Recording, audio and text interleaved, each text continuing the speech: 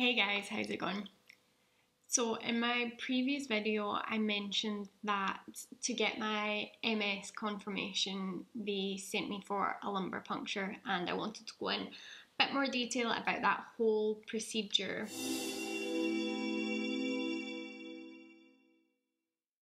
So right away when my neurologist told me that to get the confirmation they wanted to do a lumbar puncture, I was just filled with dread. It's one of those procedures, even just the name sounds horrendous. And then if you refer to it as a spinal tap, I think that makes it even worse. It's like you're sticking a needle in my spine. How how can I just be okay with that? I know it's not in your spine, I know it's between your spine, but it still just sounds horrible and it sounds painful.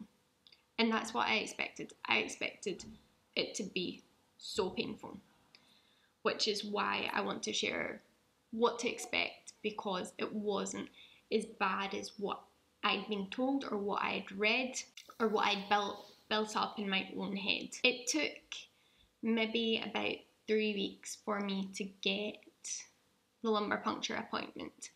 So after I'd been told it's highly likely that you have MS, I just had to wait for like three weeks to go to this lumbar puncture appointment. And part of me was kind of glad about that. I was like, oh, I'm I can avoid this. Great. They've not they've not contacted me. I can just I know it's coming, but there's nothing definite yet. It's fine. It's not going to happen. And then I got the phone call to say that the lumbar puncture would be the following week. But okay, it's time to suck it up. It's time to finally get that 100% confirmation, which by this point I just wanted. I just wanted that. This is this is what we're dealing with and this is where we go from and if that was down to the results of a lumbar puncture then that's how we were going to get it. The appointment itself was kind of arranged over a phone call, so I didn't get much details. I didn't get how long I'd be in for. They didn't tell me if I could eat beforehand.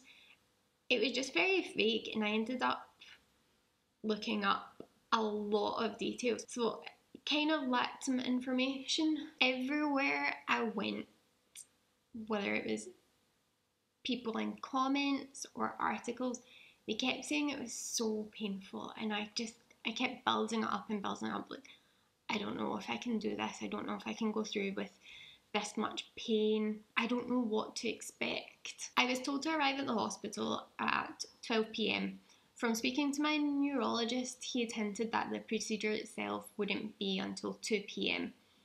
So uh, there I kind of gauged okay, I've got two hours beforehand to wait, and then I have no idea how long I'm going to be in the hospital for that day. They call it a day case, but I don't know if a day case is a couple of hours or if it's a whole day. In my head, I kind of thought it was like a blood test that you'd go to your doctor, they'd do the blood test, and they'd let you go home, but clearly not. So I arrived to the hospital and they took me up to the room. It was a nice little, well, nice, it's a hospital room. It just had bed and ensuite TV, and the nurse came in, took my registration form, checked all of my details, told me that nurses would be in and out to check my blood pressure, which they did kind of over the next hour. But no one actually came in and told me that what was happening with the procedure. It wasn't until maybe about 45 minutes before I was scheduled to have it And that the doctor who was carrying the lumbar puncture out finally came and spoke to me. So he just went over what would happen. There'd be some local anaesthetic and then they'd take some samples. He also went over side effects. So the most common of a lumbar puncture is a headache and that's due to the change in pressure around your brain. They're taking some of the fluid out. But they can reduce this by getting you to lie down for a, a period of time afterwards. But it is the most common one, and it could even be a day later or a few days later that you start to experience this. Now, right away, I'm quite prone to headaches, so I thought this is this is what I'm going to experience over the next few days is probably a really bad headache.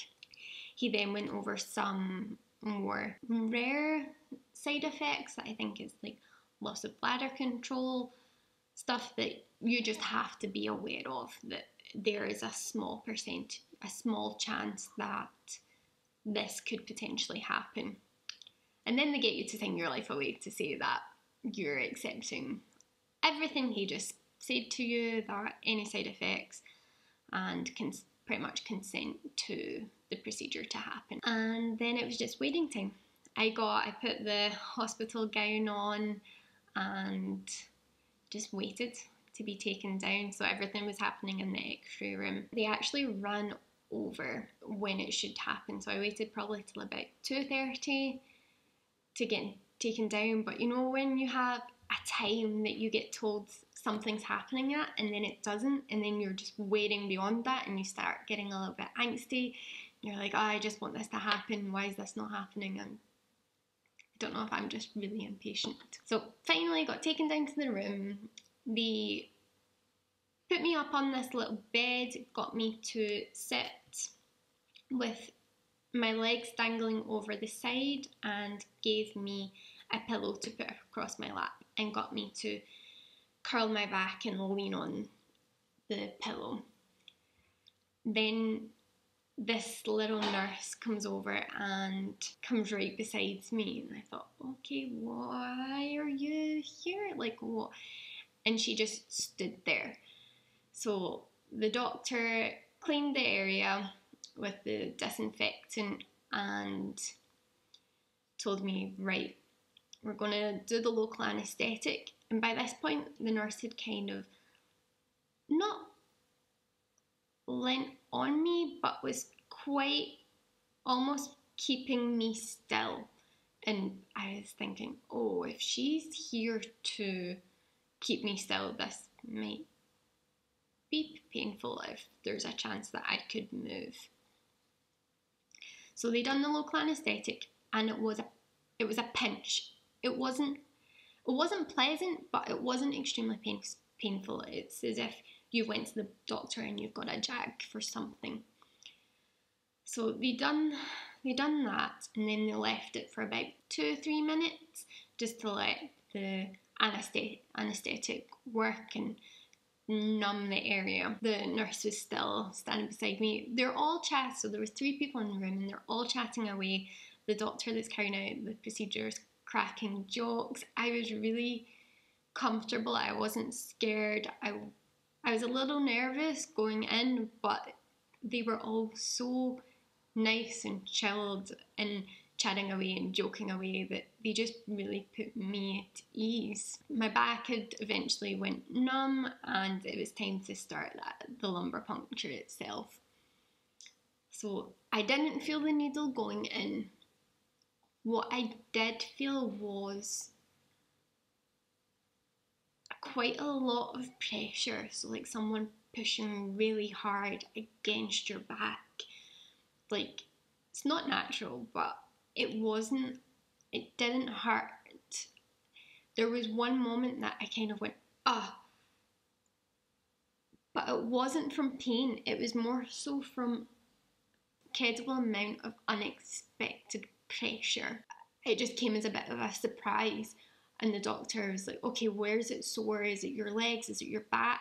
And it's, by the time he'd asked that, that feeling had gone. So it was just that moment of, I think, a bit more pressure than what I'd expected, what had previously happened. So the needle was in place and they left it for a minute, maybe a minute. I'm not too sure. It wasn't long. They took the samples, then he started to remove the needle, and that's the bit that was the weirdest. It was such a weird sensation was like you could feel the needle coming out. Again, it wasn't painful, it was you were aware of something moving out of your body, which is a little gross. And then it was done. They got me to then go onto my side and had me lie there for about 10 minutes. By this point, they remembered that we had to take bloods. Now, I've had blood tests done many times over the years, and they've never seemed to have an issue with finding veins until that day. I don't know if my body had completely given up and thought you've been a pincushion enough today, but they just couldn't get the, the blood. So the nurse tried multiple times, which really not the most pleasant. And then finally gave up and said, We'll try again. Once you're back up in the room, the doctor can try taking it from the other arm. So my bed came down from the room and they took me back upstairs. They had me just lie down pretty much flat for about an hour. So I just was there watching some TV. They brought me some water, which at least they gave me a straw because I was lying down and it was a little bit awkward to then drink. After an hour, they then brought me some tea and toast, which by this point I was so happy about. They say you can eat beforehand, but I woke up with, you know, that nervous tummy. There's so many butterflies that you just can't think about food, you can't stomach food. So I was really, really happy when they brought me up some tea and toast. Don't know why it always tastes so much better in the hospital. And by this point, I was sitting upright and I had been to the bathroom a few times. Didn't, wasn't in any pain, just felt a little weird. My back was numb, wasn't used to that, but wasn't in any pain. I didn't have a headache. So for about three hours after the procedure, I was lying down and gradually getting to a seated position and then staying there for a while. All in all, I was there for about six hours, so I got discharged around 6 pm. By that point, I was really happy to be getting discharged from the hospital. I just had enough. I got home, still wasn't in any pain. Again, back was just still a little numb. I was just waiting on this headache to appear. Next day, nothing, no headache, which I'm cautiously waiting for when it's gonna crop up. It was really day two. You know, when you've done quite an intense workout and it's like the second day that it hits you? This is what this felt like. I was pretty much, I was pretty stiff, my lower back, and I think the prior day I'd been overly cautious of how I was sitting. I wasn't really bending my back. I was maybe moving other muscles as well that I hadn't moved um, probably ever. So I don't know if it was a mixture of the anaesthetic, the lumbar puncture, and me not really moving my back for a day that brought on this stiffness. So the stiffness lasted maybe two days and then it eventually disappeared. And luckily enough, I didn't experience a headache at all. So, guessing that's down to how long they had me lying down and then gradually getting me to an upright position. So, quite grateful for that. All in all, I didn't find it as bad as what I built it up in my head to be. I built it up in my head to be this extremely painful procedure, and it wasn't. I would say it was a lot of pressure rather than pain. But bear in mind, everyone's pain thresholds are different, everyone experiences things different, but this is how I experienced the lumbar puncture. If you've been through a similar process, I'd love to hear what you experienced and if you're going for a lumbar puncture spinal tap, then don't don't Google, don't take anyone's opinions. Even what I'm saying today, I'm just putting over my experience and how I handled it. You do you.